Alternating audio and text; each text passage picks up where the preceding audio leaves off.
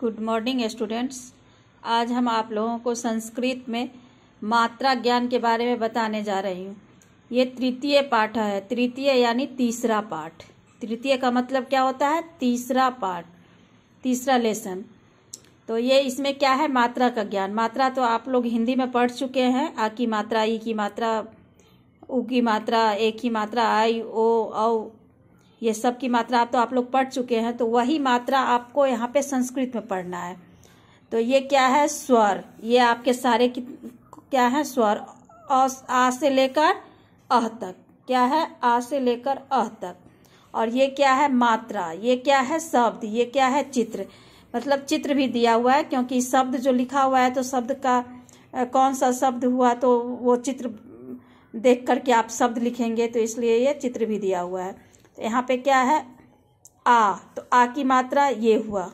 डंडा की तरह लिखते हैं आ की मात्रा।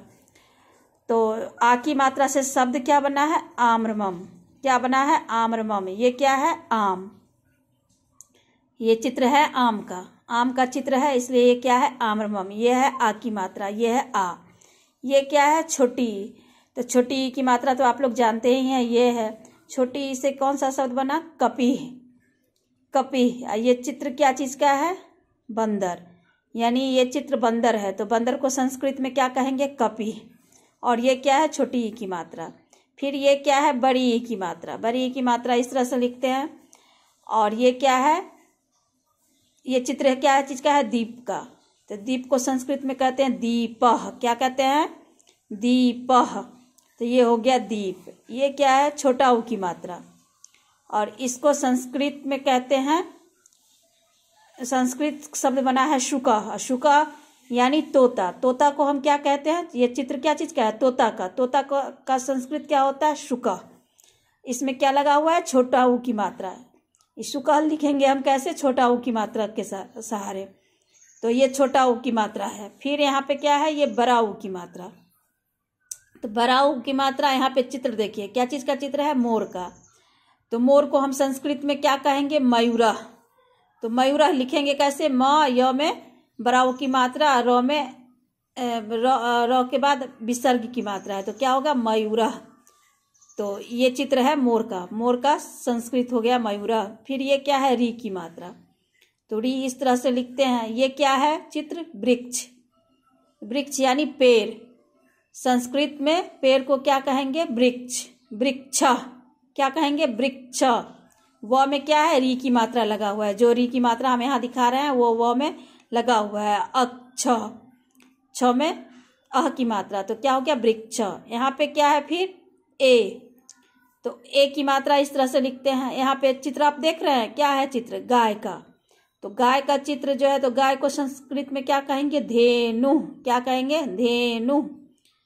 तो ए की मात्रा किस पे लगा हुआ है? ध पर। ध में ए की मात्रा नौ में छोटा ओ की मात्रा और विसर्ग। तो ये क्या हो गया? धेनु। धेनु। फिर ये क्या है? ऐ की मात्रा। तो ऐ की मात्रा किस तरह से लगा आ, मतलब लिखते हैं वो तो यहाँ पे लिखा हुआ है देख रहे हैं? डबल लाइन डालेंगे ऊपर में तो हो जाएगा ऐ की मात्रा। ये चित्र देख रहे हैं? ये क्या चीज़ का चित्र है? पहाड़ का। क्या चीज़ का है? पहाड़ का। पहाड़ को संस्कृत में क्या कहेंगे? सैलम।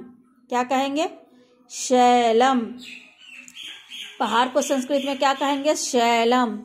तो ये हो गया शैलम। तो शैलम में देख रहे हैं, सौ पर मात्रा है ऐका और लौ पर अंक की मात्रा है। तो ये हो गया शैलम। ये पहाड़ का संस्कृत शब्द शैलम। फिर हो है ओ की मात्रा। तो ओ की मात्रा किस तरह से लिखा है? आप देख रहे हैं। आप लोगों के पास बुक होगा ही। नहीं तो इस वीडियो में देखिएगा। ये चित्र क्या चीज़ का है? कबूतर का। इसको हम हिंदी में कबूतर बोलते हैं, लेकिन संस्कृत में इसको क्या बोलेंगे? कपोतः। क्या बोलेंगे? कपोतः। तो लिखेंगे कैसे? क, प में ओ की मात्रा, पो तम में अह की मात्रा। तो क्या होगा? कपोतः। फिर ये क्या है? औ की मात्रा।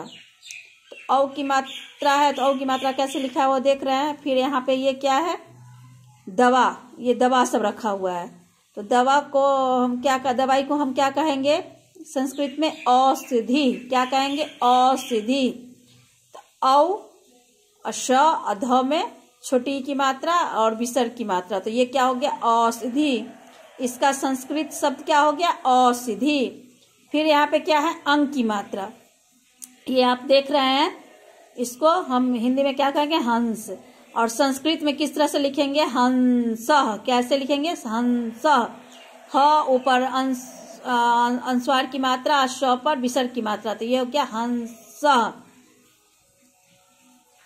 ये क्या है? अह की मात्रा। अह जो ये, ये विसर्ग सारे में ये विसर्ग लगा हुआ है यही ये मात्रा है अह की मात्रा। तो ये यहाँ पे क्या है? हाथ जोड़ के चित्र में क्या दिख, रहा है? दोनों हाथ जोड़े हुए हैं। तो दोनों हाथ जोड़े हुए का मतलब क्या हो गया नमः। तो नमः यानी नमस्कार। नमस्कार को हम क्या कहेंगे संस्कृत में? नमः। न अम में अह की मात्रा। तो ये क्या हो गया? नमः। समझ गए? तो ये आप लोग को इस तरह से मात्रा का आ, मात्रा के बारे में बता रही हूँ। आप लोग ध्यान से देख लिए। आ म में हलन आधार म में आधार रो अमो में पूरा ये इधर हलंत है। ये आ म में आधार रो, रेप की मात्रा पढ़ाए हुए हैं, उसमें बता रहे हैं, और इसमें हलंत लगा हुआ है। तो ये क्या हो गया? आम्रमम। क, प में छोटी की मात्रा, पी विसर्ग की मात्रा, जो यहाँ पे अह की मात्रा है। अह की मात्रा जो है, वो सारे में लगा हुआ है लास्ट में। देख रहे हैं? ये होगा कपि, ये हो गया दीप, ये होगा शुक, मयूर, वृक्ष, धेनु। शैलम कपोत औषधि, हंसा, नम। तो ये आप लोग ये चैप्टर समझ गए, ये चैप्टर आपका तृतीय पाठ समाप्त हो गया। यही आप लोगों को इसमें तृतीय पाठ में आप लोगों को मात्रा पढ़ना था। मात्रा से बने शब्द लिखना था तो ये आपका ये पाठ समाप्त हो गया। आप लोग इसको कॉपी में सुंदर सुंदर राइटिंग में लिखेंगे। देख रहे हैं ये आ की मात्रा ये छोटी की बड़ी की छोटा हो की बड़ा हो की ए आई आ की मात्रा छोटी की मात्रा बड़ी की मात्रा छोटा ऊ की मात्रा बड़ा ऊ की मात्रा ए की मात्रा आई की मात्रा ये री की मात्रा और ए की मात्रा आई की मात्रा ओ की मात्रा औ की मात्रा अंग की मात्रा अह की मात्रा ये सारे मात्रा हैं और मात्रा से ये बने शब्द हैं इसको आप लोग ध्यान से देखिए